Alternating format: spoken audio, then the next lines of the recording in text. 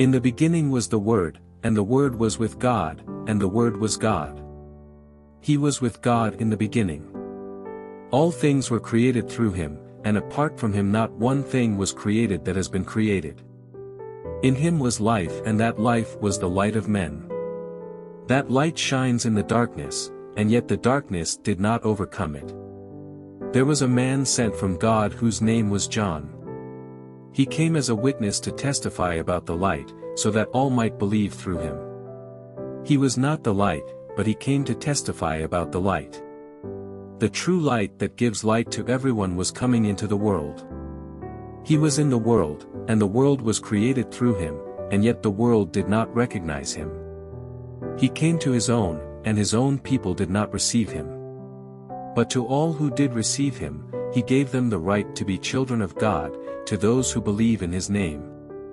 Who were born, not of natural descent, or of the will of the flesh, or of the will of man, but of God. The Word became flesh and dwelt among us. We observed his glory, the glory as the one and only Son from the Father, full of grace and truth. John testified concerning him and exclaimed, This was the one of whom I said, The one coming after me ranks ahead of me, because he existed before me. Indeed, we have all received grace upon grace from his fullness. For the law was given through Moses, grace and truth came through Jesus Christ. No one has ever seen God. The one and only Son, who is himself God and is at the Father's side, he has revealed him. This was John's testimony when the Jews from Jerusalem sent priests and Levites to ask him, Who are you? He didn't deny it but confessed, I am not the Messiah. What then, they asked him. Are you Elijah? I am not, he said, Are you the prophet? No, he answered. Who are you, then, they asked. We need to give an answer to those who sent us. What can you tell us about yourself? He said, I am a voice of one crying out in the wilderness, Make straight the way of the Lord, just as Isaiah the prophet said. Now they had been sent from the Pharisees. So they asked him, Why then do you baptize if you aren't the Messiah, or Elijah, or the prophet? I baptize with water, John answered them. Someone stands among you, but you don't know him. He is the one coming after me, whose sandal strap I'm not worthy to untie. All this happened in Bethany across the Jordan, where John was baptizing. The next day John saw Jesus coming toward him and said, Look, the Lamb of God, who takes away the sin of the world. This is the one I told you about, after me comes a man who ranks ahead of me, because he existed before me. I didn't know him, but I came baptizing with water so that he might be revealed to Israel. And John testified, I saw the Spirit descending from heaven like a dove, and he rested on him. I didn't know him, but he who sent me to baptize with water told me, the one you see the Spirit descending and resting on, he is the one who baptizes with the Holy Spirit. I have seen and testified that this is the Son of God. The next day, John was standing with two of his disciples. When he saw Jesus passing by, he said, Look, the Lamb of God. The two disciples heard him say this and followed Jesus. When Jesus turned and noticed them following him, he asked them, What are you looking for? They said to him, Rabbi, which means, Teacher, where are you staying? Come and you'll see, he replied. So they went and saw where he was staying, and they stayed with him that day. It was about four in the afternoon. Andrew, Simon Peter's brother, was one of the two who heard John and followed him. He first found his own brother Simon and told him, We have found the Messiah, which is translated, the Christ. And he brought Simon to Jesus. When Jesus saw him, he said, You are Simon, son of John. You will be called Cephas, which is translated, Peter. The next day Jesus decided to leave for Galilee. He found Philip and told him, Follow me. Now Philip was from Bethsaida, the hometown of Andrew and Peter. Philip found Nathanael and told him, We have found the one Moses wrote about in the law, and so did the prophets Jesus the son of Joseph, from Nazareth. Can anything good come out of Nazareth? Nathanael asked him, Come and see, Philip answered. Then Jesus saw Nathanael coming toward him and said about him, Here truly is an Israelite in whom there is no deceit. How do you know me? Nathanael asked, Before Philip called you, when you were under the fig tree, I saw you, Jesus answered. Rabbi, Nathanael replied, You are the Son of God, you are the King of Israel. Jesus responded to him, Do you believe because I told you I saw you under the fig tree? You will see greater things than this. Then he said, Truly I tell you, you will see heaven opened and the angels of God ascending and descending on the Son of Man. On the third day a wedding took place in Cana of Galilee. Jesus' mother was there. And Jesus and his disciples were invited to the wedding as well. When the wine ran out, Jesus' mother told him, They don't have any wine. What has this concern of yours to do with me, woman? Jesus asked. My hour has not yet come. Do whatever he tells you, his mother told the servants. Now six stone water jars had been set there for Jewish purification. Each contained 20 or 30 gallons. Fill the jars with water, Jesus told them. So they filled them to the brim. Then he said to them, now draw some out and take it to the head waiter. And they did. When the head waiter tasted the water, after it had become wine, he did not know where it came from, though the servants who had drawn the water knew. He called the groom. And told him, Everyone sets out the fine wine first, then, after people are drunk, the inferior. But you have kept the fine wine until now. Jesus did this, the first of his signs, in Cana of Galilee. He revealed his glory, and his disciples believed in him. After this, he went down to Capernaum, together with his mother, his brothers, and his disciples, and they stayed there only a few days. The Jewish Passover was near, and so Jesus went up to Jerusalem. In the temple he found people selling oxen, sheep, and doves, and he also found the money changers sitting there. After making a whip out of cords, he drove everyone out of the temple with their sheep and oxen. He also poured out the money changers' coins and overturned the tables. He told those who were selling doves, Get these things out of here. Stop turning my father's house into a marketplace. And his disciples remembered that it is written, Zeal for your house will consume me. So the Jews replied to him, what sign will you show us for doing these things? Jesus answered, Destroy this temple, and I will raise it up in three days. Therefore the Jews said, This temple took forty-six years to build, and will you raise it up in three days? But he was speaking about the temple of his body. So when he was raised from the dead, his disciples remembered that he had said this, and they believed the scripture and the statement Jesus had made. While he was in Jerusalem during the Passover festival, many believed in his name when they saw the signs he was doing. Jesus, however, would not entrust himself to them, since he knew them all. And because he did not need anyone to testify about man, for he himself knew what was in man. There was a man from the Pharisees named Nicodemus, a ruler of the Jews. This man came to him at night and said, Rabbi, we know that you are a teacher who has come from God, for no one could perform these signs you do unless God were with him.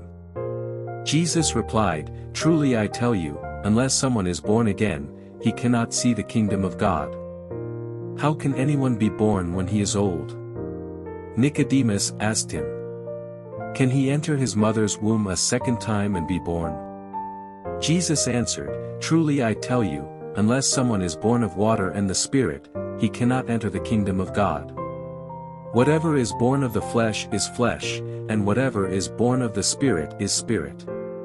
Do not be amazed that I told you that you must be born again. The wind blows where it pleases, and you hear its sound, but you don't know where it comes from or where it is going. So it is with everyone born of the Spirit. How can these things be? asked Nicodemus. Are you a teacher of Israel and don't know these things? Jesus replied. Truly I tell you, we speak what we know and we testify to what we have seen, but you do not accept our testimony. If I have told you about earthly things and you don't believe, how will you believe if I tell you about heavenly things? No one has ascended into heaven except the one who descended from heaven, the Son of Man.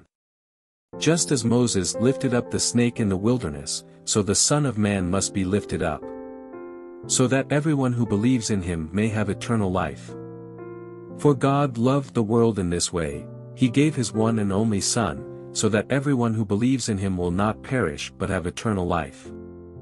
For God did not send his Son into the world to condemn the world, but to save the world through him.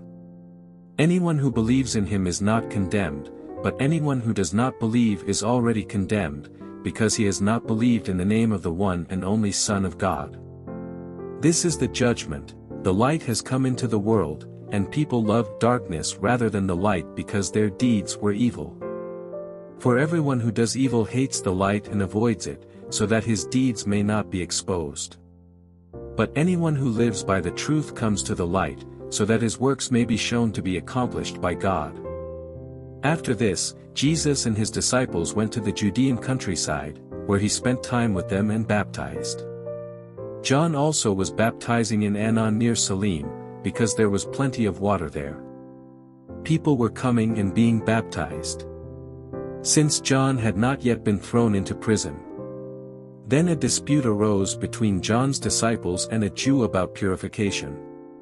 So they came to John and told him, Rabbi, the one you testified about, and who was with you across the Jordan, is baptizing, and everyone is going to him. John responded, No one can receive anything unless it has been given to him from heaven. You yourselves can testify that I said, I am not the Messiah, but I've been sent ahead of him. He who has the bride is the groom. But the groom's friend, who stands by and listens for him, rejoices greatly at the groom's voice. So this joy of mine is complete. He must increase, but I must decrease. The one who comes from above is above all. The one who is from the earth is earthly and speaks in earthly terms, the one who comes from heaven is above all.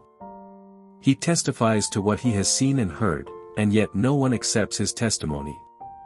The one who has accepted his testimony has affirmed that God is true. For the one whom God sent speaks God's words, since he gives the Spirit without measure. The Father loves the Son and has given all things into his hands. The one who believes in the Son has eternal life, but the one who rejects the Son will not see life, instead, the wrath of God remains on him. When Jesus learned that the Pharisees had heard he was making and baptizing more disciples than John. Though Jesus himself was not baptizing, but his disciples were. He left Judea and went again to Galilee. He had to travel through Samaria. So he came to a town of Samaria called Sychar near the property that Jacob had given his son Joseph. Jacob's well was there, and Jesus, worn out from his journey, sat down at the well. It was about noon. A woman of Samaria came to draw water. Give me a drink, Jesus said to her because his disciples had gone into town to buy food. How is it that you, a Jew, ask for a drink from me, a Samaritan woman, she asked him. For Jews do not associate with Samaritans. Jesus answered, If you knew the gift of God, and who is saying to you, Give me a drink, you would ask him, and he would give you living water. Sir, said the woman, you don't even have a bucket, and the well is deep. So where do you get this living water? You aren't greater than our father Jacob, are you? He gave us the well and drank from it himself, as did his sons and livestock. Jesus said, Everyone who drinks from this water will get thirsty again. But whoever drinks from the water that I will give him will never get thirsty again. In fact, the water I will give him will become a well of water springing up in him for eternal life. Sir, the woman said to him, Give me this water so that I won't get thirsty and come here to draw water. Go call your husband, he told her, and come back here. I don't have a husband, she answered. You have correctly said, I don't have a husband, Jesus said. For you've had five husbands, and the man you now have is not your husband. What you have said is true. Sir, the woman replied, I see that you are a prophet. Our ancestors worshipped on this mountain, but you Jews say that the place to worship is in Jerusalem. Jesus told her, Believe me, woman, an hour is coming when you will worship the Father neither on this mountain nor in Jerusalem. You Samaritans worship what you do not know. We worship what we do know, because salvation is from the Jews. But an hour is coming, and is now here, when the true worshippers will worship the Father in spirit and in truth. Yes, the Father wants such people to worship Him. God is spirit, and those who worship Him must worship in spirit and in truth. The woman said to him, I know that the Messiah is coming, who is called Christ. When he comes, he will explain everything to us. Jesus told her, I, the one speaking to you, am he. Just then his disciples arrived, and they were amazed that he was talking with a woman. Yet no one said, What do you want, or, Why are you talking with her? Then the woman left her water jar, went into town, and told the people. Come, see a man who told me everything I ever did. Could this be the Messiah? They left the town and made their way to him. In the meantime the disciples kept urging him, Rabbi, eat something. But he said, I have food to eat that you don't know about. The disciples said to one another, Could someone have brought him something to eat? My food is to do the will of him who sent me and to finish his work, Jesus told them. Don't you say, there are still four more months, and then comes the harvest. Listen to what I'm telling you, open your eyes and look at the fields, because they are ready for harvest. The reaper is already receiving pay and gathering fruit for eternal life, so that the sower and reaper can rejoice together. For in this case the saying is true, one sows and another reaps. I sent you to reap what you didn't labor for, others have labored, and you have benefited from their labor. Now many Samaritans from that town believed in him because of what the woman said when she testified, he told me everything I ever did. So when the Samaritans came to him, they asked him to stay with them, and he stayed there two days. Many more believed because of what he said. And they told the woman, We no longer believe because of what you said, since we have heard for ourselves and know that this really is the Savior of the world. After two days he left there for Galilee. Jesus himself had testified that a prophet has no honor in his own country. When they entered Galilee, the Galileans welcomed him because they had seen everything he did in Jerusalem during the festival. For they also had gone to the festival. He went again to Cana of Galilee, where he had turned the water into wine. There was a certain royal official whose son was ill at Capernaum. When this man heard that Jesus had come from Judea into Galilee, he went to him and pleaded with him to come down and heal his son, since he was about to die. Jesus told him, Unless you people see signs and wonders, you will not believe. Sir, the official said to him, Come down before my boy dies. Go, Jesus told him, your son will live. The man believed what Jesus said to him and departed. While he was still going down, his servants met him saying that his boy was alive. He asked them at what time he got better. Yesterday at one in the afternoon the fever left him, they answered. The father realized this was the very hour at which Jesus had told him, Your son will live. So he himself believed, along with his whole household. Now this was also the second sign Jesus performed after he came from Judea to Galilee. After this, a Jewish festival took place, and Jesus went up to Jerusalem. By the sheep gate in Jerusalem there is a pool, called Bethesda in Aramaic, which has five colonnades. Within these lay a large number of the disabled, blind, lame, and paralyzed. One man was there who had been disabled for 38 years. When Jesus saw him lying there and realized he had already been there a long time, he said to him, Do you want to get well? Sir, the disabled man answered, I have no one to put me into the pool when the water is stirred up, but while I'm coming, someone goes down ahead of me. Get up, Jesus told him, pick up your mat and walk. Instantly the man got well, picked up his mat, and started to walk, now that day was the Sabbath. And so the Jews said to the man who had been healed, This is the Sabbath. The law prohibits you from picking up your mat. He replied, The man who made me well told me, Pick up your mat and walk. Who is this man who told you, Pick up your mat and walk? They asked. But the man who was healed did not know who it was, because Jesus had slipped away into the crowd that was there.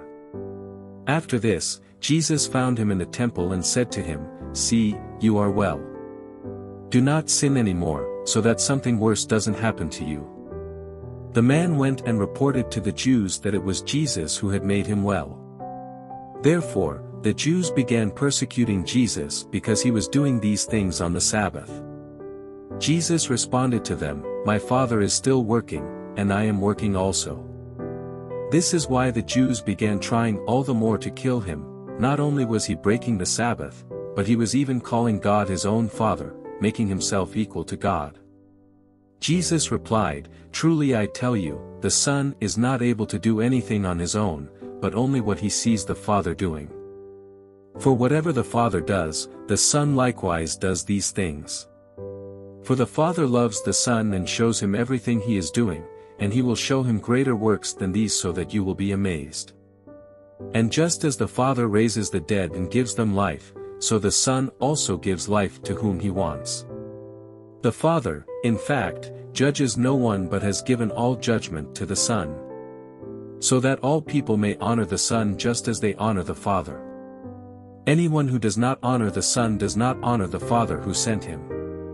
Truly I tell you, anyone who hears my word and believes him who sent me has eternal life and will not come under judgment but has passed from death to life. Truly I tell you, an hour is coming, and is now here, when the dead will hear the voice of the Son of God, and those who hear will live. For just as the Father has life in himself, so also he has granted to the Son to have life in himself. And he has granted him the right to pass judgment, because he is the Son of Man. Do not be amazed at this, because a time is coming when all who are in the graves will hear his voice. And come out, those who have done good things, to the resurrection of life, but those who have done wicked things, to the resurrection of condemnation. I can do nothing on my own. I judge only as I hear, and my judgment is just, because I do not seek my own will, but the will of him who sent me. If I testify about myself, my testimony is not true. There is another who testifies about me, and I know that the testimony he gives about me is true. You sent messengers to John, and he testified to the truth. I don't receive human testimony, but I say these things so that you may be saved. John was a burning and shining lamp, and you were willing to rejoice for a while in his light. But I have a greater testimony than John's because of the works that the Father has given me to accomplish. These very works I am doing testify about me that the Father has sent me. The Father who sent me has himself testified about me. You have not heard his voice at any time, and you haven't seen his form. You don't have his word residing in you, because you don't believe the one he sent. You pore over the scriptures because you think you have eternal life in them, and yet they testify about me. But you are not willing to come to me so that you may have life. I do not accept glory from people. But I know you, that you have no love for God within you. I have come in my Father's name, and yet you don't accept me. If someone else comes in his own name, you will accept him. How can you believe, since you accept glory from one another but don't seek the glory that comes from the only God? Do not think that I will accuse you to the Father. Your accuser is Moses, on whom you have set your hope. For if you believed Moses, you would believe me, because he wrote about me. But if you don't believe what he wrote, how will you believe my words? After this, Jesus crossed the Sea of Galilee, or Tiberias. A huge crowd was following him because they saw the signs that he was performing by healing the sick. Jesus went up a mountain and sat down there with his disciples. Now the Passover, a Jewish festival, was near. So when Jesus looked up and noticed a huge crowd coming toward him, he asked Philip, Where will we buy bread so that these people can eat? He asked this to test him, for he himself knew what he was going to do. Philip answered him, Two hundred denarii worth of bread wouldn't be enough for each of them to have a little.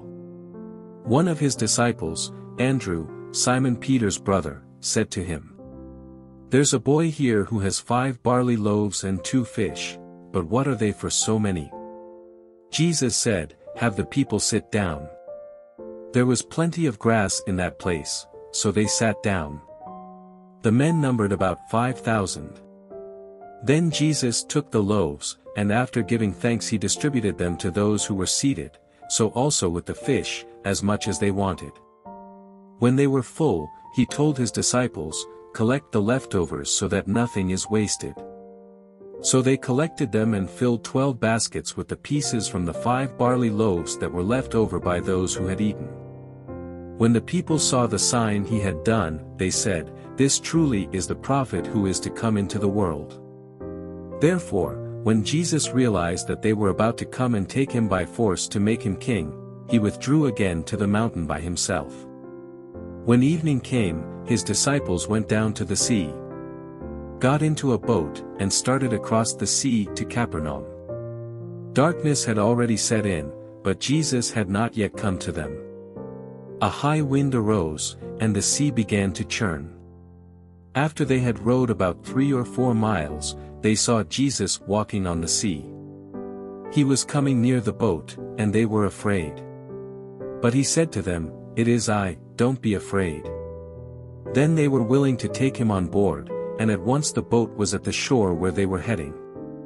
The next day, the crowd that had stayed on the other side of the sea saw there had been only one boat. They also saw that Jesus had not boarded the boat with his disciples, but that his disciples had gone off alone. Some boats from Tiberias came near the place where they had eaten the bread after the Lord had given thanks.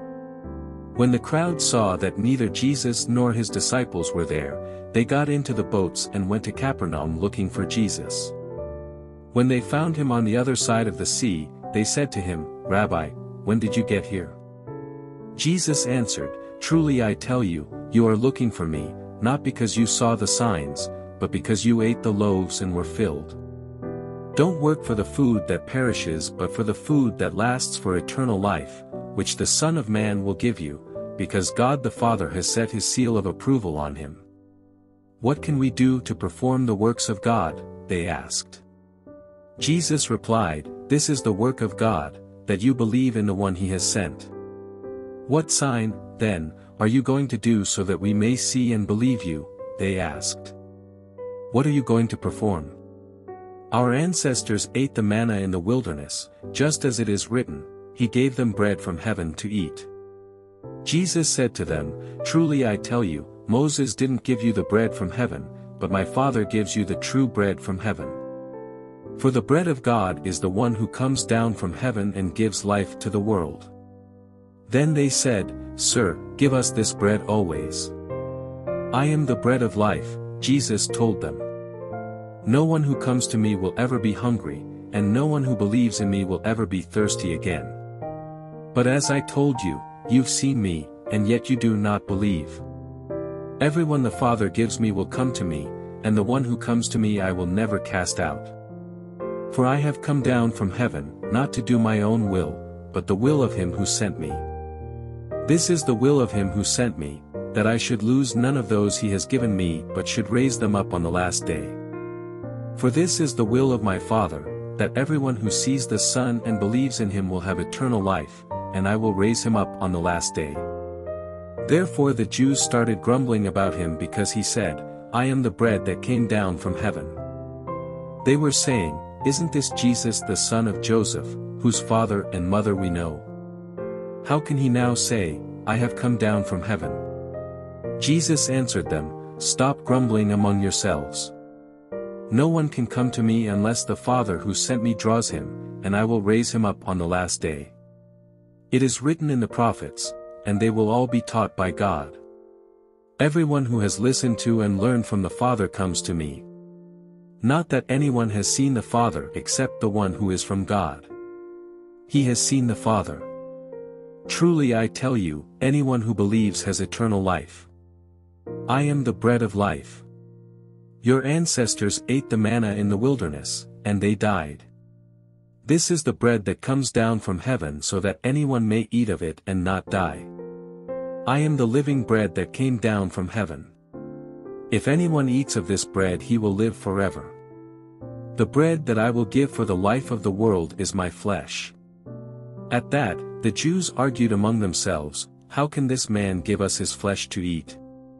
So Jesus said to them, Truly I tell you, unless you eat the flesh of the Son of Man and drink his blood, you do not have life in yourselves. The one who eats my flesh and drinks my blood has eternal life, and I will raise him up on the last day. Because my flesh is true food and my blood is true drink. The one who eats my flesh and drinks my blood remains in me, and I in him. Just as the living Father sent me and I live because of the Father, so the one who feeds on me will live because of me. This is the bread that came down from heaven, it is not like the manna your ancestors ate, and they died.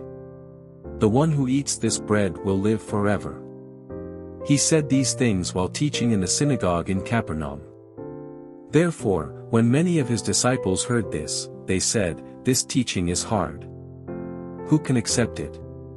Jesus, knowing in himself that his disciples were grumbling about this, asked them, Does this offend you? Then what if you were to observe the Son of Man ascending to where he was before? The Spirit is the one who gives life. The flesh doesn't help at all. The words that I have spoken to you are spirit and are life. But there are some among you who don't believe. For Jesus knew from the beginning those who did not believe and the one who would betray him. He said, This is why I told you that no one can come to me unless it is granted to him by the Father. From that moment many of his disciples turned back and no longer accompanied him. So Jesus said to the twelve, You don't want to go away too, do you? Simon Peter answered, Lord, to whom will we go? You have the words of eternal life. We have come to believe and know that you are the Holy One of God. Jesus replied to them, Didn't I choose you, the twelve? Yet one of you is a devil. He was referring to Judas, Simon Iscariot's son, one of the twelve, because he was going to betray him. They were saying, Isn't this Jesus the son of Joseph, whose father and mother we know? How can he now say, I have come down from heaven? Jesus answered them, Stop grumbling among yourselves. No one can come to me unless the Father who sent me draws him, and I will raise him up on the last day. It is written in the prophets, and they will all be taught by God. Everyone who has listened to and learned from the Father comes to me. Not that anyone has seen the Father except the one who is from God. He has seen the Father. Truly I tell you, anyone who believes has eternal life. I am the bread of life. Your ancestors ate the manna in the wilderness, and they died. This is the bread that comes down from heaven so that anyone may eat of it and not die. I am the living bread that came down from heaven. If anyone eats of this bread he will live forever. The bread that I will give for the life of the world is my flesh. At that, the Jews argued among themselves, How can this man give us his flesh to eat? So Jesus said to them, Truly I tell you, unless you eat the flesh of the Son of Man and drink his blood, you do not have life in yourselves. The one who eats my flesh and drinks my blood has eternal life, and I will raise him up on the last day. Because my flesh is true food and my blood is true drink. The one who eats my flesh and drinks my blood remains in me, and I in him. Just as the living Father sent me and I live because of the Father, so the one who feeds on me will live because of me. This is the bread that came down from heaven, it is not like the manna your ancestors ate, and they died. The one who eats this bread will live forever. He said these things while teaching in the synagogue in Capernaum. Therefore, when many of his disciples heard this, they said, This teaching is hard. Who can accept it? Jesus, knowing in himself that his disciples were grumbling about this, asked them, Does this offend you? Then what if you were to observe the Son of Man ascending to where he was before? The Spirit is the one who gives life. The flesh doesn't help at all. The words that I have spoken to you are spirit and are life. But there are some among you who don't believe. For Jesus knew from the beginning those who did not believe and the one who would betray him. He said, This is why I told you that no one can come to me unless it is granted to him by the Father. From that moment many of his disciples turned back and no longer accompanied him. So Jesus said to the twelve, You don't want to go away too, do you? Simon Peter answered, Lord, to whom will we go? You have the words of eternal life. We have come to believe and know that you are the Holy One of God. Jesus replied to them, Didn't I choose you, the twelve? Yet one of you is a devil. He was referring to Judas, Simon Iscariot's son, one of the twelve, because he was going to betray him. But Jesus went to the Mount of Olives. At dawn he went to the temple again, and all the people were coming to him. He sat down and began to teach them. Then the scribes and the Pharisees brought a woman caught in adultery, making her stand in the center. Teacher, they said to him, this woman was caught in the act of committing adultery. In the law Moses commanded us to stone such women. So what do you say? They asked this to trap him, in order that they might have evidence to accuse him, Jesus stooped down and started writing on the ground with his finger. When they persisted in questioning him, he stood up and said to them, The one without sin among you should be the first to throw a stone at her. Then he stooped down again and continued writing on the ground. When they heard this, they left one by one, starting with the older men. Only he was left, with the woman in the center. When Jesus stood up, he said to her, Woman, where are they? Has no one condemned you? No one, Lord, she answered, Neither do I condemn you, said Jesus. Go, and from now on do not sin anymore. Jesus spoke to them again, I am the light of the world. Anyone who follows me will never walk in the darkness but will have the light of life. So the Pharisees said to him, You are testifying about yourself. Your testimony is not valid. Even if I testify about myself, Jesus replied, My testimony is true, because I know where I came from and where I'm going. But you don't know where I come from or where I'm going. You judge by human standards. I judge no one. And if I do judge, my judgment is true, because it is not I alone who judge, but I and the Father who sent me. Even in your law it is written that the testimony of two witnesses is true. I am the one who testifies about myself, and the Father who sent me testifies about me. Then they asked him, Where is your Father? You know neither me nor my Father, Jesus answered. If you knew me, you would also know my Father. He spoke these words by the treasury, while teaching in the temple. But no one seized him, because his hour had not yet come. Then he said to them again, I'm going away, you will look for me, and you will die in your sin. Where I'm going, you cannot come. So the Jews said again, He won't kill himself, will he, since he says, Where I'm going, you cannot come. You are from below, he told them, I am from above. You are of this world, I am not of this world. Therefore I told you that you will die in your sins. For if you do not believe that I am he, you will die in your sins. Who are you? They questioned exactly what I've been telling you from the very beginning, Jesus told them. I have many things to say and to judge about you, but the one who sent me is true, and what I have heard from him, these things I tell the world. They did not know he was speaking to them about the Father. So Jesus said to them, When you lift up the Son of Man, then you will know that I am he, and that I do nothing on my own. But just as the Father taught me, I say these things. The one who sent me is with me. He has not left me alone, because I always do what pleases him. As he was saying these things, many believed in him. Then Jesus said to the Jews who had believed him, If you continue in my word, you really are my disciples. You will know the truth, and the truth will set you free. We are descendants of Abraham, they answered him, and we have never been enslaved to anyone. How can you say, you will become free? Jesus responded, Truly I tell you, everyone who commits sin is a slave of sin. A slave does not remain in the household forever, but a son does remain forever. So if the son sets you free, you really will be free. I know you are descendants of Abraham, but you are trying to kill me because my word has no place among you. I speak what I have seen in the presence of the Father, so then, you do what you have heard from your father. Our father is Abraham, they replied, if you were Abraham's children, Jesus told them, you would do what Abraham did. But now you are trying to kill me, a man who has told you the truth that I heard from God. Abraham did not do this. You're doing what your father does. We weren't born of sexual immorality, they said. We have one Father, God. Jesus said to them, If God were your Father, you would love me, because I came from God and I am here. For I didn't come on my own, but he sent me. Why don't you understand what I say? Because you cannot listen to my word.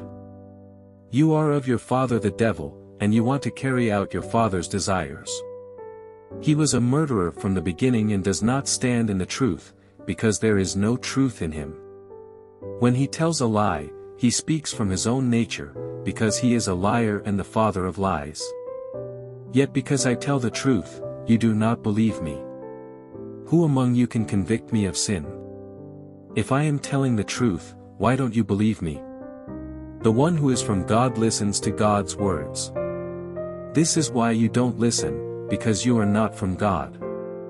The Jews responded to him, Aren't we right in saying that you're a Samaritan and have a demon? I do not have a demon, Jesus answered. On the contrary, I honor my Father and you dishonor me. I do not seek my own glory, there is one who seeks it and judges. Truly I tell you, if anyone keeps my word, he will never see death. Then the Jews said, Now we know you have a demon. Abraham died and so did the prophets. You say, If anyone keeps my word, he will never taste death. Are you greater than our father Abraham who died? And the prophets died. Who do you claim to be? If I glorify myself, Jesus answered, My glory is nothing. My Father, about whom you say, He is our God, He is the one who glorifies me. You do not know Him, but I know Him. If I were to say I don't know Him, I would be a liar like you. But I do know Him, and I keep His word. Your father Abraham rejoiced to see my day, he saw it and was glad. The Jews replied, You aren't fifty years old yet, and you've seen Abraham? Jesus said to them, Truly I tell you, before Abraham was, I am. So they picked up stones to throw at him. But Jesus was hidden and went out of the temple. As he was passing by, he saw a man blind from birth. His disciples asked him, Rabbi, who sinned, this man or his parents, that he was born blind? Neither this man nor his parents sinned, Jesus answered. This came about so that God's works might be displayed in him. We must do the works of him who sent me while it is day. Night is coming when no one can work. As long as I am in the world, I am the light of the world. After he said these things he spit on the ground, made some mud from the saliva, and spread the mud on his eyes. Go, he told him, wash in the pool of Siloam, which means, sent. So he left, washed, and came back seeing. His neighbors and those who had seen him before as a beggar said, Isn't this the one who used to sit begging? Some said, He's the one. Others were saying, No, but he looks like him. He kept saying, I'm the one. So they asked him, then how were your eyes opened? He answered, The man called Jesus made mud, spread it on my eyes, and told me, Go to Siloam and wash. So when I went and washed I received my sight.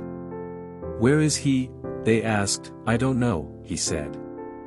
They brought the man who used to be blind to the Pharisees. The day that Jesus made the mud and opened his eyes was a Sabbath. Then the Pharisees asked him again how he received his sight. He put mud on my eyes, he told them. I washed and I can see. Some of the Pharisees said, This man is not from God, because he doesn't keep the Sabbath. But others were saying, How can a sinful man perform such signs? And there was a division among them. Again they asked the blind man, What do you say about him, since he opened your eyes? He's a prophet, he said. The Jews did not believe this about him, that he was blind and received sight, until they summoned the parents of the one who had received his sight. They asked them, Is this your son, the one you say was born blind? How then does he now see? We know this is our son and that he was born blind, his parents answered. But we don't know how he now sees, and we don't know who opened his eyes. Ask him, he's of age. He will speak for himself. His parents said these things because they were afraid of the Jews, since the Jews had already agreed that if anyone confessed him as the Messiah, he would be banned from the synagogue. This is why his parents said, He's of age, ask him. So a second time they summoned the man who had been blind and told him, Give glory to God. We know that this man is a sinner. He answered, Whether or not he's a sinner, I don't know. One thing I do know, I was blind, and now I can see. Then they asked him, What did he do to you? How did he open your eyes?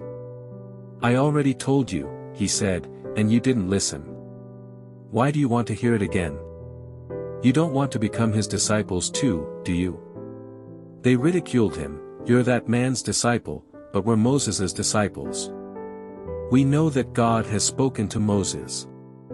But this man, we don't know where he's from. This is an amazing thing, the man told them. You don't know where he is from, and yet he opened my eyes. We know that God doesn't listen to sinners, but if anyone is God-fearing and does his will, he listens to him. Throughout history no one has ever heard of someone opening the eyes of a person born blind. If this man were not from God, he wouldn't be able to do anything.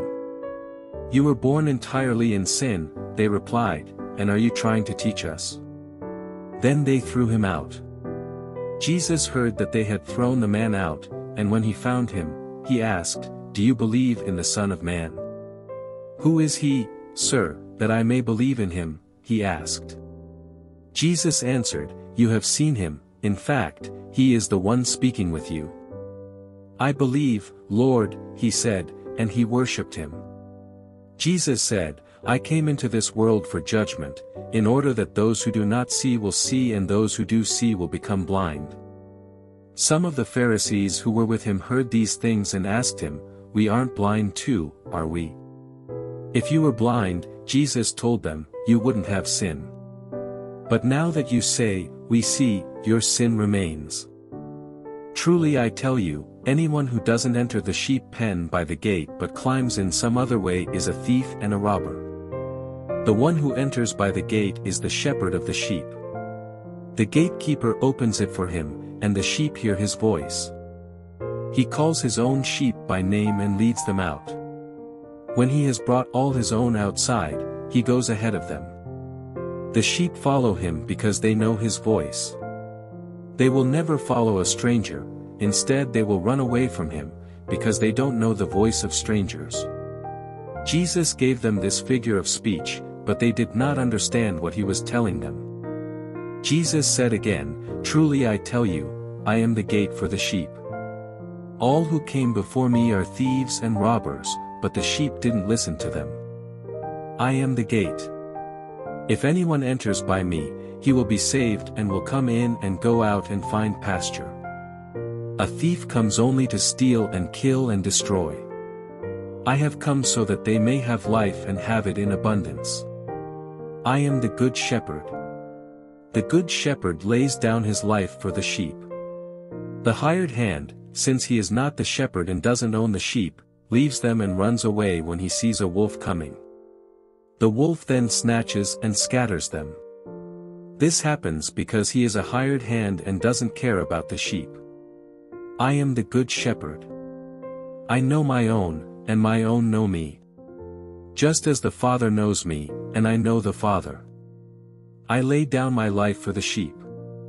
But I have other sheep that are not from this sheep pen, I must bring them also, and they will listen to my voice. Then there will be one flock, one shepherd.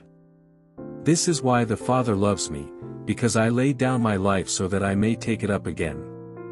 No one takes it from me, but I lay it down on my own. I have the right to lay it down, and I have the right to take it up again. I have received this command from my Father. Again the Jews were divided because of these words. Many of them were saying, He has a demon and he's crazy.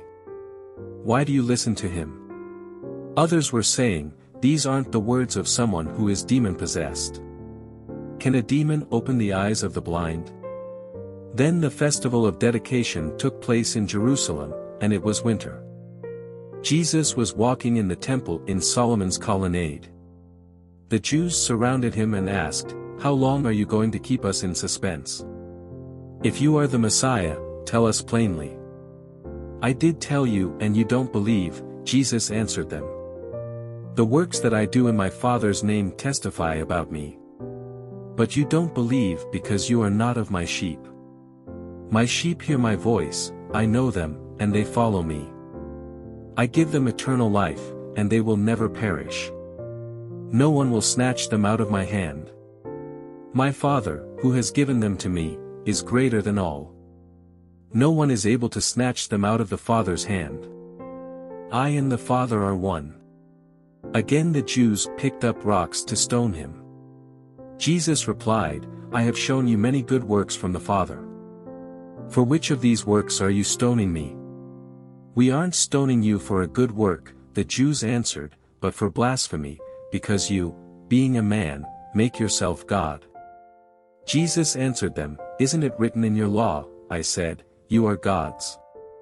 If he called those to whom the word of God came gods, and the scripture cannot be broken. Do you say, you are blaspheming to the one the Father set apart and sent into the world, because I said, I am the Son of God? If I am not doing my Father's works, don't believe me. But if I am doing them and you don't believe me, believe the works. This way you will know and understand that the Father is in me and I in the Father. Then they were trying again to seize him, but he escaped their grasp. So he departed again across the Jordan to the place where John had been baptizing earlier, and he remained there. Many came to him and said, John never did a sign, but everything John said about this man was true. And many believed in him there. Now a man was sick, Lazarus from Bethany, the village of Mary and her sister Martha. Mary was the one who anointed the Lord with perfume and wiped his feet with her hair, and it was her brother Lazarus who was sick. So the sisters sent a message to him, Lord, the one you love is sick. When Jesus heard it, he said, This sickness will not end in death but is for the glory of God, so that the Son of God may be glorified through it. Now Jesus loved Martha, her sister, and Lazarus. So when he heard that he was sick, he stayed two more days in the place where he was.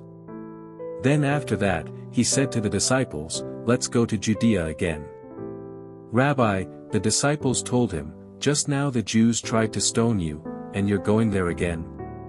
Aren't there twelve hours in a day? Jesus answered. If anyone walks during the day, he doesn't stumble, because he sees the light of this world. But if anyone walks during the night, he does stumble, because the light is not in him. He said this, and then he told them, Our friend Lazarus has fallen asleep, but I'm on my way to wake him up. Then the disciples said to him, Lord, if he has fallen asleep, he will get well. Jesus, however, was speaking about his death, but they thought he was speaking about natural sleep. So Jesus then told them plainly, Lazarus has died. I'm glad for you that I wasn't there so that you may believe. But let's go to him. Then Thomas, called Twin, said to his fellow disciples, Let's go too so that we may die with him. When Jesus arrived, he found that Lazarus had already been in the tomb four days. Bethany was near Jerusalem, less than two miles away. Many of the Jews had come to Martha and Mary to comfort them about their brother. As soon as Martha heard that Jesus was coming, she went to meet him, but Mary remained seated in the house. Then Martha said to Jesus, Lord, if you had been here, my brother wouldn't have died. Yet even now I know that whatever you ask from God, God will give you. Your brother will rise again, Jesus told her. Martha said to him, I know that he will rise again in the resurrection at the last day. Jesus said to her, I am the resurrection and the life. The one who believes in me, even if he dies, will live. Everyone who lives and believes in me will never die. Do you believe this? Yes, Lord, she told him, I believe you are the Messiah, the Son of God, who comes into the world. Having said this, she went back and called her sister Mary, saying in private, The teacher is here and is calling for you. As soon as Mary heard this, she got up quickly and went to him. Jesus had not yet come into the village but was still in the place where Martha had met him. The Jews who were with her in the house consoling her saw that Mary got up quickly and went out. They followed her, supposing that she was going to the tomb to cry there. As soon as Mary came to where Jesus was and saw him, she fell at his feet and told him, Lord, if you had been here, my brother wouldn't have died. When Jesus saw her crying, and the Jews who had come with her crying, he was deeply moved in his spirit and troubled. Where have you put him? he asked, Lord, they told him, come and see. Jesus wept. So the Jews said, see how he loved him. But some of them said, couldn't he who opened the blind man's eyes also have kept this man from dying? Then Jesus, deeply moved again, came to the tomb. It was a cave, and a stone was lying against it. Remove the stone, Jesus said, Martha, the dead man's sister, told him, Lord, there is already a stench because he has been dead four days. Jesus said to her, Didn't I tell you that if you believed you would see the glory of God? So they removed the stone. Then Jesus raised his eyes and said, Father, I thank you that you heard me. I know that you always hear me, but because of the crowd standing here I said this, so that they may believe you sent me. After he said this, he shouted with a loud voice, Lazarus, come out. The dead man came out bound hand and foot with linen strips and with his face wrapped in a cloth. Jesus said to them, Unwrap him and let him go. Therefore, many of the Jews who came to Mary and saw what he did believed in him. But some of them went to the Pharisees and told them what Jesus had done. So the chief priests and the Pharisees convened the Sanhedrin and were saying, What are we going to do since this man is doing many signs? If we let him go on like this, everyone will believe in him, and the Romans will come and take away both our place and our nation. One of them, Caiaphas, who was high priest that year, said to them, You know nothing at all. You're not considering that it is to your advantage that one man should die for the people rather than the whole nation perish.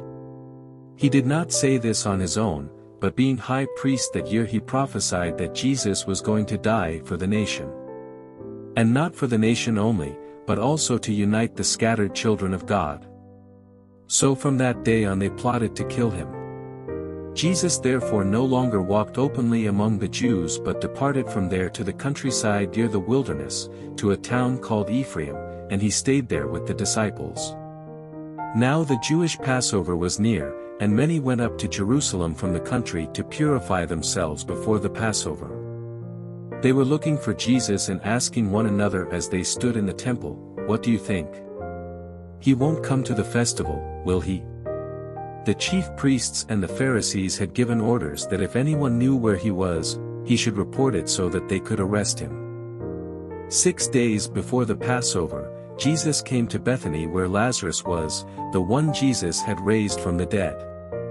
So they gave a dinner for him there, Martha was serving them, and Lazarus was one of those reclining at the table with him. Then Mary took a pound of perfume, pure and expensive nard, anointed Jesus' feet, and wiped his feet with her hair. So the house was filled with the fragrance of the perfume. Then one of his disciples, Judas Iscariot, who was about to betray him, said, Why wasn't this perfume sold for 300 denarii and given to the poor? He didn't say this because he cared about the poor but because he was a thief. He was in charge of the money bag and would steal part of what was put in it.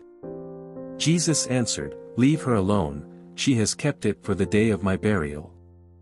For you always have the poor with you, but you do not always have me. Then a large crowd of the Jews learned he was there. They came not only because of Jesus but also to see Lazarus, the one he had raised from the dead. But the chief priests had decided to kill Lazarus also. Because he was the reason many of the Jews were deserting them and believing in Jesus. The next day, when the large crowd that had come to the festival heard that Jesus was coming to Jerusalem, they took palm branches and went out to meet him. They kept shouting, Hosanna! Blessed is he who comes in the name of the Lord, the King of Israel. Jesus found a young donkey and sat on it, just as it is written. Do not be afraid. Daughter Zion. Look, your king is coming. Sitting on a donkey's colt. His disciples did not understand these things at first. However, when Jesus was glorified, then they remembered that these things had been written about him and that they had done these things to him. Meanwhile, the crowd, which had been with him when he called Lazarus out of the tomb and raised him from the dead, continued to testify. This is also why the crowd met him, because they heard he had done this sign. Then the Pharisees said to one another, You see, you've accomplished nothing. Look, the world has gone after him. Now some Greeks were among those who went up to worship at the festival. So they came to Philip, who was from Bethsaida in Galilee, and requested of him, Sir, we want to see Jesus. Philip went and told Andrew, then Andrew and Philip went and told Jesus. Jesus replied to them, The hour has come for the Son of Man to be glorified.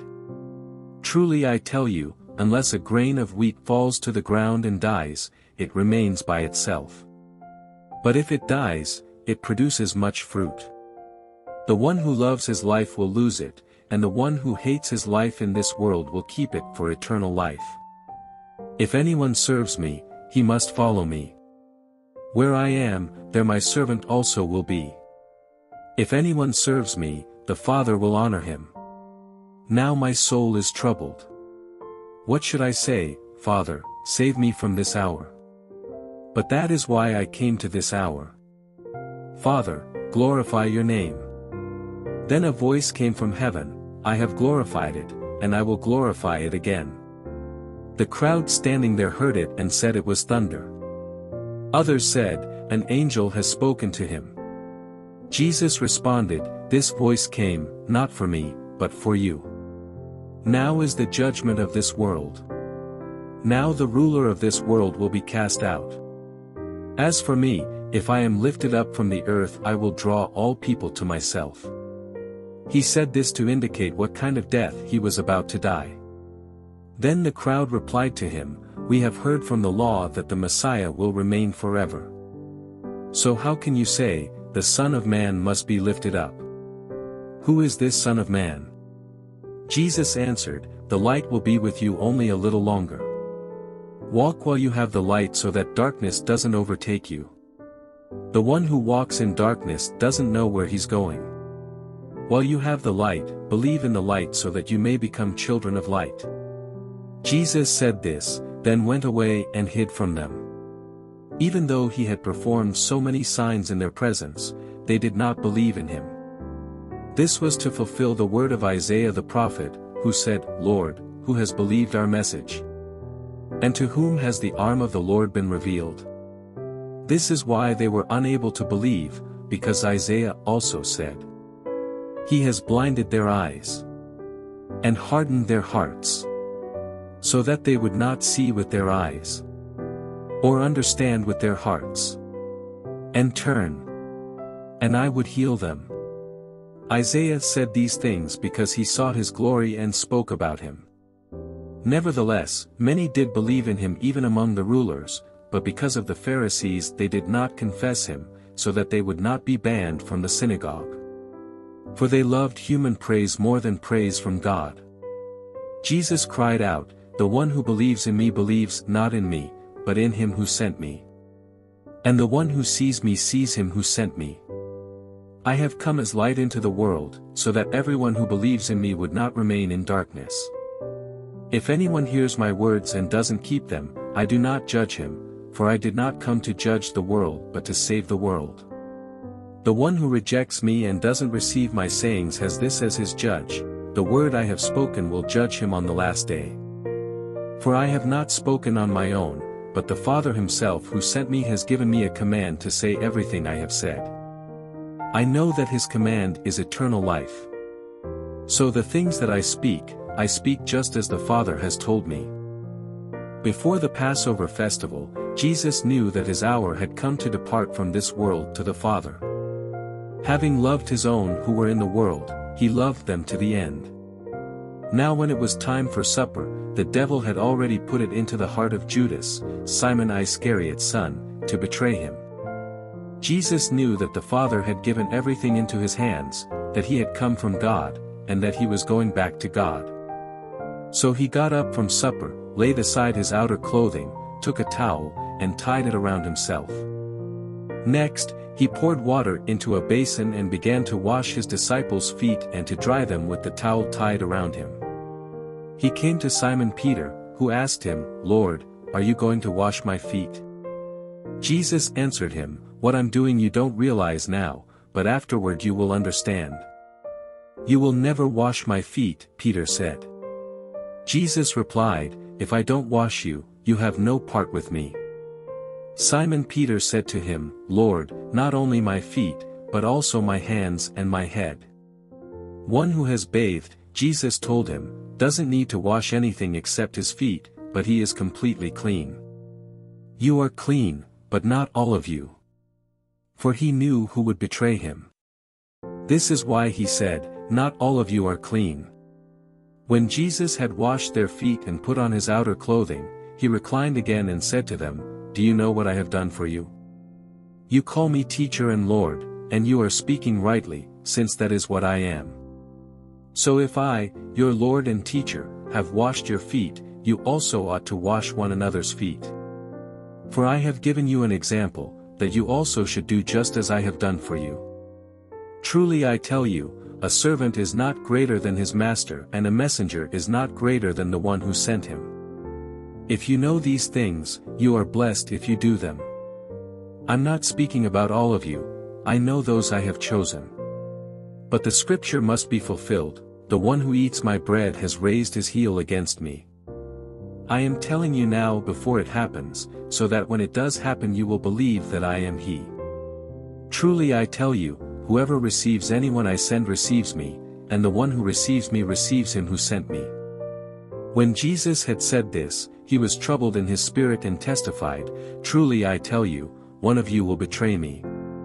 The disciples started looking at one another, uncertain which one he was speaking about. One of his disciples, the one Jesus loved, was reclining close beside Jesus. Simon Peter motioned to him to find out who it was he was talking about. So he leaned back against Jesus and asked him, Lord, who is it? Jesus replied, He's the one I give the piece of bread to after I have dipped it. When he had dipped the bread, he gave it to Judas, Simon Iscariot's son. After Judas ate the piece of bread, Satan entered him. So Jesus told him, What you're doing, do quickly. None of those reclining at the table knew why he said this to him. Since Judas kept the money bag, some thought that Jesus was telling him, Buy what we need for the festival, or that he should give something to the poor. After receiving the piece of bread, he immediately left. And it was night.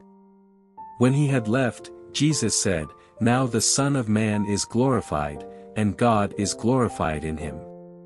If God is glorified in him, God will also glorify him in himself and will glorify him at once.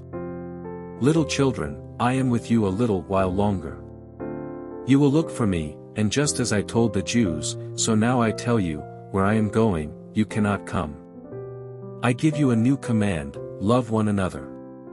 Just as I have loved you, you are also to love one another. By this everyone will know that you are my disciples, if you love one another. Lord, Simon Peter said to him, Where are you going?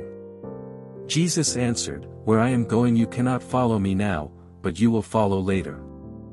Lord, Peter asked, Why can't I follow you now? I will lay down my life for you. Jesus replied, Will you lay down your life for me? Truly I tell you, a rooster will not crow until you have denied me three times. Don't let your heart be troubled. Believe in God, believe also in me. In my Father's house are many rooms. If it were not so, would I have told you that I am going to prepare a place for you? If I go away and prepare a place for you, I will come again and take you to myself, so that where I am you may be also. You know the way to where I am going. Lord, Thomas said, we don't know where you're going. How can we know the way? Jesus told him, I am the way, the truth, and the life. No one comes to the Father except through me. If you know me, you will also know my Father. From now on you do know him and have seen him. Lord, said Philip, show us the Father, and that's enough for us. Jesus said to him, Have I been among you all this time and you do not know me, Philip? The one who has seen me has seen the Father. How can you say, Show us the Father? Don't you believe that I am in the Father and the Father is in me? The words I speak to you I do not speak on my own. The Father who lives in me does his works. Believe me that I am in the Father and the Father is in me. Otherwise, believe because of the works themselves. Truly I tell you, the one who believes in me will also do the works that I do. And he will do even greater works than these, because I am going to the Father. Whatever you ask in my name, I will do it so that the Father may be glorified in the Son. If you ask me anything in my name, I will do it. If you love me, you will keep my commands. And I will ask the Father, and he will give you another counselor to be with you forever. He is the Spirit of truth. The world is unable to receive him because it doesn't see him or know him. But you do know him, because he remains with you and will be in you. I will not leave you as orphans, I am coming to you. In a little while the world will no longer see me, but you will see me. Because I live, you will live too. On that day you will know that I am in my Father, you are in me, and I am in you. The one who has my commands and keeps them is the one who loves me. And the one who loves me will be loved by my Father. I also will love him and will reveal myself to him. Judas, not Iscariot, said to him, Lord, how is it you're going to reveal yourself to us and not to the world? Jesus answered, If anyone loves me, he will keep my word. My Father will love him, and we will come to him and make our home with him. The one who doesn't love me will not keep my words. The word that you hear is not mine but is from the Father who sent me. I have spoken these things to you while I remain with you. But the Counselor, the Holy Spirit, whom the Father will send in my name, will teach you all things and remind you of everything I have told you. Peace I leave with you. My peace I give to you. I do not give to you as the world gives. Don't let your heart be troubled or fearful. You have heard me tell you, I am going away and I am coming to you. If you loved me, you would rejoice that I am going to the Father, because the Father is greater than I. I have told you now before it happens so that when it does happen you may believe. I will not talk with you much longer, because the ruler of the world is coming. He has no power over me. On the contrary, so that the world may know that I love the Father, I do as the Father commanded me, get up, let's leave this place. I am the true vine, and my Father is the gardener. Every branch in me that does not produce fruit he removes, and he prunes every branch that produces fruit so that it will produce more fruit. You are already clean because of the word I have spoken to you. Remain in me, and I in you. Just as a branch is unable to produce fruit by itself unless it remains on the vine, neither can you unless you remain in me. I am the vine, you are the branches. The one who remains in me and I in him produces much fruit, because you can do nothing without me. If anyone does not remain in me, he is thrown aside like a branch and he withers.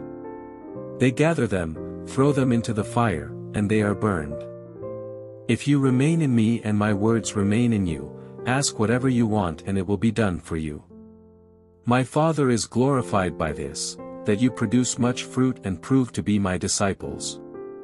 As the Father has loved me, I have also loved you. Remain in my love. If you keep my commands you will remain in my love, just as I have kept my Father's commands and remain in his love. I have told you these things so that my joy may be in you and your joy may be complete. This is my command, love one another as I have loved you. No one has greater love than this, to lay down his life for his friends. You are my friends if you do what I command you. I do not call you servants anymore, because a servant doesn't know what his master is doing. I have called you friends, because I have made known to you everything I have heard from my Father.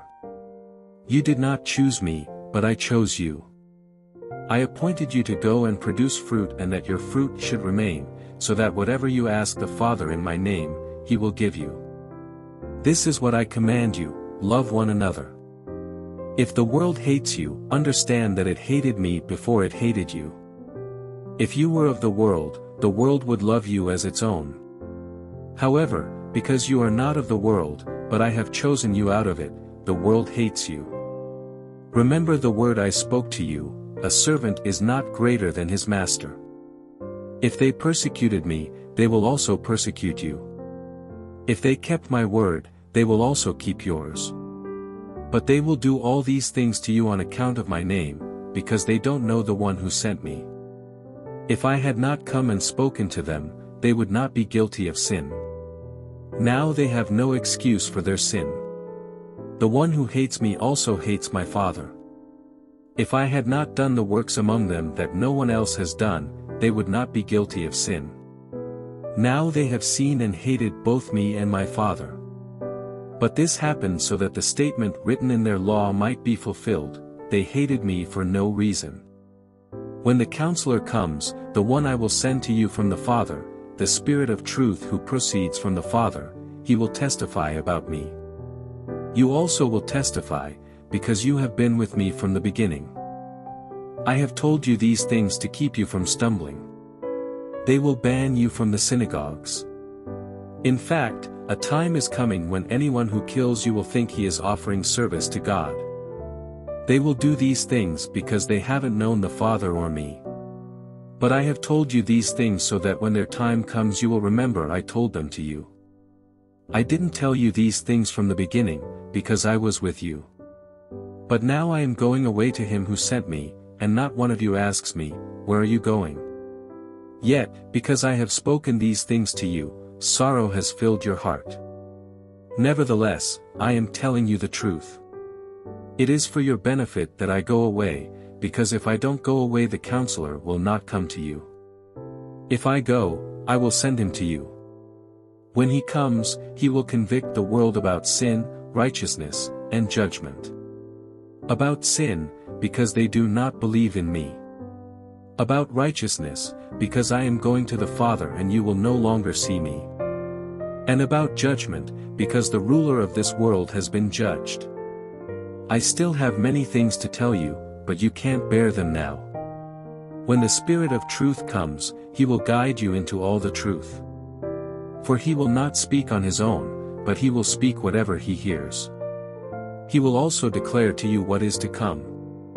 He will glorify me, because he will take from what is mine and declare it to you. Everything the Father has is mine. This is why I told you that he takes from what is mine and will declare it to you. In a little while, you will no longer see me, again in a little while, you will see me.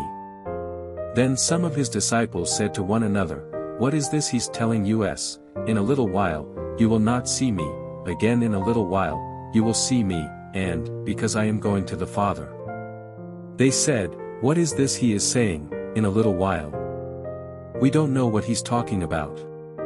Jesus knew they wanted to ask him, and so he said to them, Are you asking one another about what I said, in a little while, you will not see me, again in a little while, you will see me?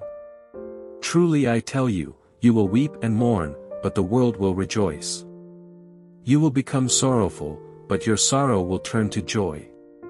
When a woman is in labor, she has pain because her time has come. But when she has given birth to a child, she no longer remembers the suffering because of the joy that a person has been born into the world. So you also have sorrow now. But I will see you again. Your hearts will rejoice, and no one will take away your joy from you. In that day you will not ask me anything. Truly I tell you, anything you ask the Father in my name, he will give you. Until now you have asked for nothing in my name. Ask and you will receive, so that your joy may be complete. I have spoken these things to you in figures of speech. A time is coming when I will no longer speak to you in figures, but I will tell you plainly about the Father. On that day you will ask in my name, and I am not telling you that I will ask the Father on your behalf. For the Father himself loves you, because you have loved me and have believed that I came from God. I came from the Father and have come into the world. Again, I am leaving the world and going to the Father. His disciples said, Look, now you're speaking plainly and not using any figurative language. Now we know that you know everything and don't need anyone to question you. By this we believe that you came from God. Jesus responded to them, Do you now believe? Indeed, an hour is coming, and has come, when each of you will be scattered to his own home, and you will leave me alone. Yet I am not alone, because the Father is with me. I have told you these things so that in me you may have peace. You will have suffering in this world. Be courageous. I have conquered the world. Jesus spoke these things, looked up to heaven, and said, Father, the hour has come. Glorify your Son so that the Son may glorify you. Since you gave him authority over all people, so that he may give eternal life to everyone you have given him. This is eternal life, that they may know you, the only true God, and the one you have sent, Jesus Christ. I have glorified you on the earth by completing the work you gave me to do. Now, Father, glorify me in your presence with that glory I had with you before the world existed. I have revealed your name to the people you gave me from the world. They were yours, you gave them to me, and they have kept your word. Now they know that everything you have given me is from you. Because I have given them the words you gave me. They have received them and have known for certain that I came from you. They have believed that you sent me. I pray for them. I am not praying for the world but for those you have given me, because they are yours. Everything I have is yours, and everything you have is mine, and I am glorified in them. I am no longer in the world, but they are in the world, and I am coming to you. Holy Father, protect them by your name that you have given me, so that they may be one as we are one. While I was with them, I was protecting them by your name that you have given me. I guarded them and not one of them is lost, except the son of destruction, so that the scripture may be fulfilled. Now I am coming to you, and I speak these things in the world so that they may have my joy completed in them. I have given them your word. The world hated them because they are not of the world, just as I am not of the world. I am not praying that you take them out of the world but that you protect them from the evil one. They are not of the world, just as I am not of the world.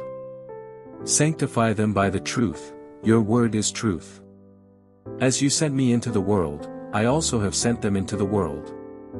I sanctify myself for them, so that they also may be sanctified by the truth. I pray not only for these, but also for those who believe in me through their word. May they all be one, as you, Father, are in me and I am in you.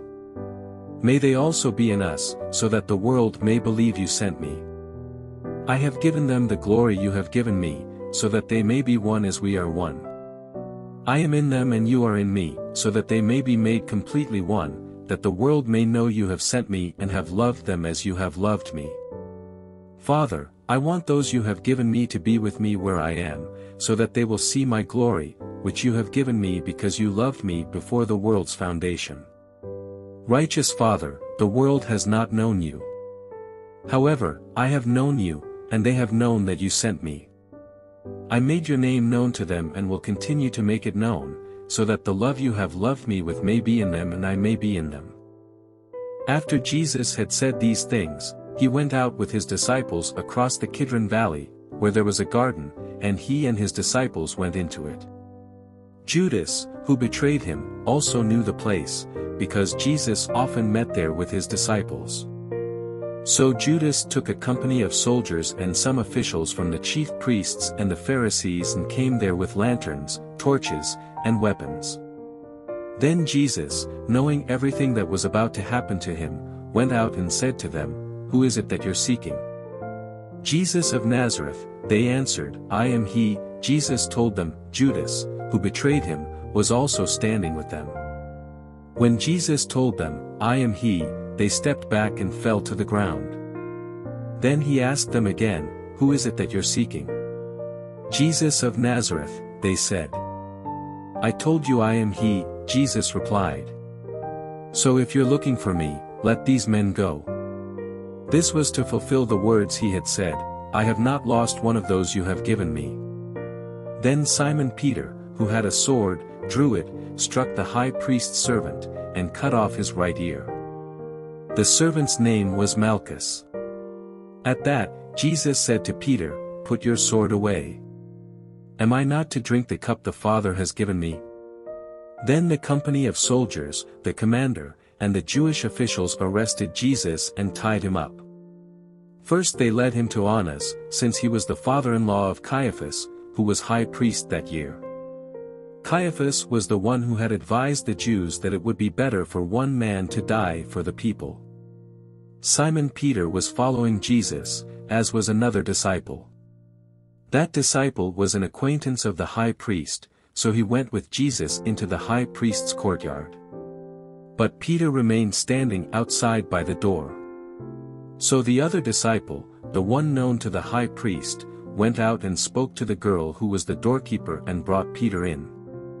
Then the servant girl who was the doorkeeper said to Peter, You aren't one of this man's disciples too, are you? I am not, he said. Now the servants and the officials had made a charcoal fire, because it was cold. They were standing there warming themselves, and Peter was standing with them, warming himself. The high priest questioned Jesus about his disciples and about his teaching. I have spoken openly to the world, Jesus answered him. I have always taught in the synagogue and in the temple, where all the Jews gather, and I haven't spoken anything in secret. Why do you question me? Question those who heard what I told them. Look, they know what I said. When he had said these things, one of the officials standing by slapped Jesus, saying, Is this the way you answer the high priest? If I have spoken wrongly, Jesus answered him, Give evidence about the wrong, but if rightly, why do you hit me? Then Annas sent him bound to Caiaphas the high priest. Now Simon Peter was standing and warming himself. They said to him, You aren't one of his disciples too, are you? He denied it and said, I am not. One of the high priest's servants, a relative of the man whose ear Peter had cut off, said, Didn't I see you with him in the garden? Peter denied it again. Immediately a rooster crowed. Then they led Jesus from Caiaphas to the governor's headquarters. It was early morning. They did not enter the headquarters themselves, otherwise they would be defiled and unable to eat the Passover. So Pilate came out to them and said, What charge do you bring against this man? They answered him, If this man weren't a criminal, we wouldn't have handed him over to you. Pilate told them, You take him and judge him according to your law. It's not legal for us to put anyone to death, the Jews declared. They said this so that Jesus' words might be fulfilled indicating what kind of death he was going to die. Then Pilate went back into the headquarters, summoned Jesus, and said to him, Are you the king of the Jews? Jesus answered, Are you asking this on your own, or have others told you about me? I'm not a Jew, am I? Pilate replied. Your own nation and the chief priests handed you over to me. What have you done? My kingdom is not of this world, said Jesus. If my kingdom were of this world, my servants would fight, so that I wouldn't be handed over to the Jews. But as it is, my kingdom is not from here. You are a king then. Pilate asked, You say that I'm a king, Jesus replied. I was born for this, and I have come into the world for this, to testify to the truth. Everyone who is of the truth listens to my voice. What is truth? said Pilate, after he had said this, he went out to the Jews again and told them, I find no grounds for charging him. You have a custom that I release one prisoner to you at the Passover. So, do you want me to release to you the king of the Jews? They shouted back, Not this man, but Barabbas. Now Barabbas was a revolutionary. Then Pilate took Jesus and had him flogged. The soldiers also twisted together a crown of thorns, put it on his head, and clothed him in a purple robe. And they kept coming up to him and saying, Hail, King of the Jews, and were slapping his face. Pilate went outside again and said to them, Look, I'm bringing him out to you to let you know I find no grounds for charging him. Then Jesus came out wearing the crown of thorns and the purple robe. Pilate said to them, Here is the man. When the chief priests and the temple servants saw him, they shouted, Crucify! Crucify! Pilate responded, Take him and crucify him yourselves, since I find no grounds for charging him. We have a law, the Jews replied to him, and according to that law he ought to die, because he made himself the Son of God. When Pilate heard this statement, he was more afraid than ever. He went back into the headquarters and asked Jesus, Where are you from? But Jesus did not give him an answer. So Pilate said to him, Do you refuse to speak to me? Don't you know that I have the authority to release you and the authority to crucify you? You would have no authority over me at all, Jesus answered him, if it hadn't been given you from above. This is why the one who handed me over to you has the greater sin.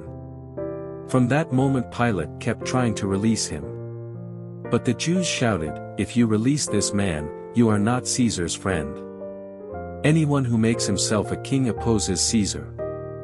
When Pilate heard these words, he brought Jesus outside. He sat down on the judge's seat in a place called the stone pavement, but in Aramaic, Gabbatha. It was the preparation day for the Passover, and it was about noon. Then he told the Jews, Here is your king.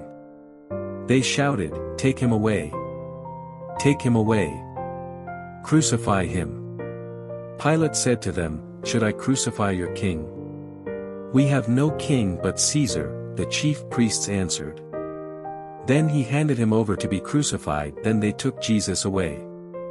Carrying the cross by himself, he went out to what is called Place of the Skull, which in Aramaic is called Golgotha. There they crucified him and two others with him, one on either side, with Jesus in the middle. Pilate also had a sign made and put on the cross. It said, Jesus of Nazareth, the King of the Jews. Many of the Jews read this sign, because the place where Jesus was crucified was near the city, and it was written in Aramaic, Latin, and Greek. So the chief priests of the Jews said to Pilate, Don't write, the king of the Jews, but that he said, I am the king of the Jews. Pilate replied, What I have written, I have written. When the soldiers crucified Jesus, they took his clothes and divided them into four parts, a part for each soldier. They also took the tunic, which was seamless, woven in one piece from the top. So they said to one another, Let's not tear it, but cast lots for it, to see who gets it. This happened that the scripture might be fulfilled that says, They divided my clothes among themselves, and they cast lots for my clothing, this is what the soldiers did. Standing by the cross of Jesus were his mother, his mother's sister, Mary the wife of Clopas, and Mary Magdalene. When Jesus saw his mother and the disciple he loved standing there, he said to his mother, Woman, here is your son. Then he said to the disciple, Here is your mother. And from that hour the disciple took her into his home. After this, when Jesus knew that everything was now finished that the scripture might be fulfilled, he said, I'm thirsty. A jar full of sour wine was sitting there, so they fixed a sponge full of sour wine on a hyssop branch and held it up to his mouth. When Jesus had received the sour wine, he said, It is finished. Then bowing his head, he gave up his spirit. Since it was the preparation day, the Jews did not want the bodies to remain on the cross on the Sabbath. They requested that Pilate have the men's legs broken and that their bodies be taken away. So the soldiers came and broke the legs of the first man and of the other one who had been crucified with him. When they came to Jesus, they did not break his legs since they saw that he was already dead. But one of the soldiers pierced his side with a spear, and at once blood and water came out. He who saw this has testified so that you also may believe. His testimony is true, and he knows he is telling the truth. For these things happened so that the scripture would be fulfilled, not one of his bones will be broken. Also, another scripture says, They will look at the one they pierced. After this, Joseph of Arimathea, who was a disciple of Jesus, but secretly because of his fear of the Jews, asked Pilate that he might remove Jesus' body. Pilate gave him permission, so he came and took his body away. Nicodemus, who had previously come to him at night, also came, bringing a mixture of about 75 pounds of myrrh and aloes. They took Jesus' body and wrapped it in linen cloths with the fragrant spices, according to the burial custom of the Jews. There was a garden in the place where he was crucified. A new tomb was in the garden, no one had yet been placed in it. They placed Jesus there because of the Jewish day of preparation and since the tomb was nearby. On the first day of the week Mary Magdalene came to the tomb early, while it was still dark. She saw that the stone had been removed from the tomb. So she went running to Simon Peter and to the other disciple, the one Jesus loved, and said to them, They've taken the Lord out of the tomb, and we don't know where they've put him. At that, Peter and the other disciple went out, heading for the tomb. The two were running together, but the other disciple outran Peter and got to the tomb first. Stooping down, he saw the linen cloths lying there, but he did not go in. Then, following him, Simon Peter also came. He entered the tomb and saw the linen cloths lying there. The wrapping that had been on his head was not lying with the linen cloths but was folded up in a separate place by itself. The other disciple, who had reached the tomb first, then also went in, saw, and believed. For they did not yet understand the scripture that he must rise from the dead. Then the disciples returned to the place where they were staying. But Mary stood outside the tomb, crying. As she was crying, she stooped to look into the tomb. She saw two angels in white sitting where Jesus's body had been lying, one at the head and the other at the feet. They said to her, Woman, why are you crying? Because they've taken away my Lord, she told them, and I don't know where they've put him. Having said this, she turned around and saw Jesus standing there, but she did not know it was Jesus. Woman, Jesus said to her, Why are you crying? Who is it that you're seeking? Supposing he was the gardener, she replied, Sir, if you've carried him away, tell me where you've put him, and I will take him away. Jesus said to her, Mary. Turning around, she said to him in Aramaic, Rabboni. Which means, teacher. Don't cling to me, Jesus told her, since I have not yet ascended to the Father. But go to my brothers and tell them that I am ascending to my Father and your Father, to my God and your God. Mary Magdalene went and announced to the disciples, I have seen the Lord. And she told them what he had said to her. When it was evening on that first day of the week, the disciples were gathered together with the doors locked because they feared the Jews. Jesus came, stood among them, and said to them, Peace be with you. Having said this, he showed them his hands and his side. So the disciples rejoiced when they saw the Lord. Jesus said to them again, Peace be with you. As the Father has sent me, I also send you. After saying this, he breathed on them and said, Receive the Holy Spirit. If you forgive the sins of any, they are forgiven them, if you retain the sins of any, they are retained. But Thomas, one of the twelve, was not with them when Jesus came. So the other disciples were telling him, We've seen the Lord. But he said to them, If I don't see the mark of the nails in his hands, put my finger into the mark of the nails, and put my hand into his side, I will never believe. A week later his disciples were indoors again, and Thomas was with them. Even though the doors were locked, Jesus came and stood among them and said, Peace be with you. Then he said to Thomas, Put your finger here and look at my hands. Reach out your hand and put it into my side. Don't be faithless, but believe. Thomas responded to him, My Lord and my God. Jesus said, Because you have seen me, you have believed. Blessed are those who have not seen and yet believe. Jesus performed many other signs in the presence of his disciples that are not written in this book. But these are written so that you may believe that Jesus is the Messiah, the Son of God, and that by believing you may have life in his name. After this, Jesus revealed himself again to his disciples by the Sea of Tiberias, a. He revealed himself in this way. Simon Peter, Thomas, Nathanael from Cana of Galilee, Zebedee's sons, and two others of his disciples were together. I'm going fishing, Simon Peter said to them We're coming with you, they told him. They went out and got into the boat, but that night they caught nothing. When daybreak came, Jesus stood on the shore, but the disciples did not know it was Jesus. Friends, Jesus called to them, You don't have any fish, do you? No, they answered. Cast the net on the right side of the boat, he told them, and you'll find some. So they did, and they were unable to haul it in because of the large number of fish. The disciple, the one Jesus loved, said to Peter, It is the Lord. When Simon Peter heard that it was the Lord, he tied his outer clothing around him and plunged into the sea. Since they were not far from land, the other disciples came in the boat, dragging the net full of fish. When they got out on land, they saw a charcoal fire there, with fish lying on it, and bread. Bring some of the fish you've just caught, Jesus told them. So Simon Peter climbed up and hauled the net ashore, full of large fish, 153 of them. Even though there were so many, the net was not torn. Come and have breakfast, Jesus told them. None of the disciples dared ask him, Who are you?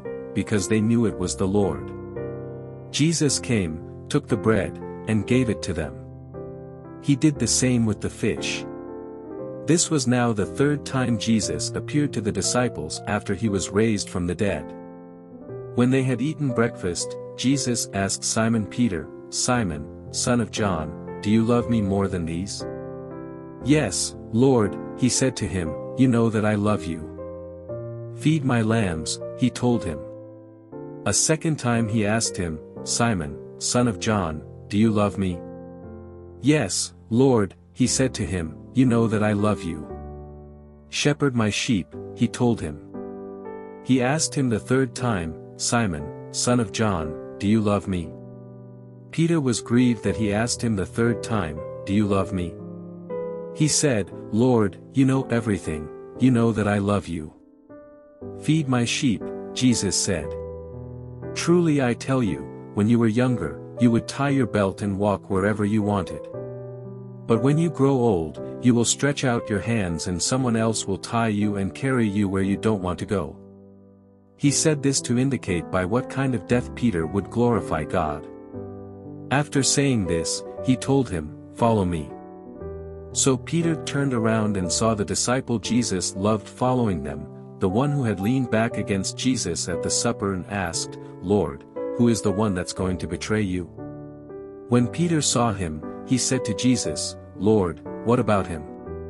If I want him to remain until I come, Jesus answered, What is that to you? As for you, follow me. So this rumor spread to the brothers and sisters that this disciple would not die. Yet Jesus did not tell him that he would not die, but, if I want him to remain until I come, what is that to you? This is the disciple who testifies to these things and who wrote them down. We know that his testimony is true. And there are also many other things that Jesus did, which, if every one of them were written down, I suppose not even the world itself could contain the books that would be written.